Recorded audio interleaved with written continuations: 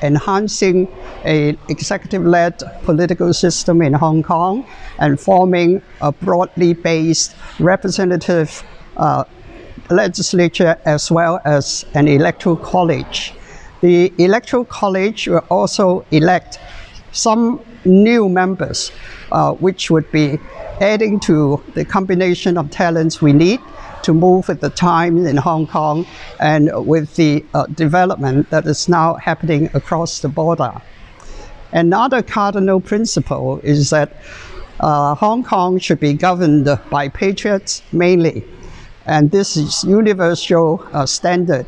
Uh, wherever you go, if you're in the legislature or in government, you must pledge allegiance to your state or your um, constitution or your monarch. Uh, this is no different from what we're doing now in Hong Kong. The whole idea is that this new method of election should be able to carry out two principles. One, that is to safeguard the uh, safety, territorial integrity, and interests and sovereignty of China, and making sure that in Hong Kong uh, we have a prosperous and stable society.